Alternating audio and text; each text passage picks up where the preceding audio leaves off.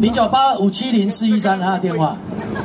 我是说这啊，如果说晚上无聊啊，画面他们在干什么上，给一下棒球。因为是亚太，所以如果你演亚太的话是不用钱，很爽。红盆个送啊，他叫林锦博，他是我们今天那个代班的鼓手，我们花了很多钱才请到他的。跟他讲好就做一次，给他七十块一个来啊。好廉价，我看。有啦，哎、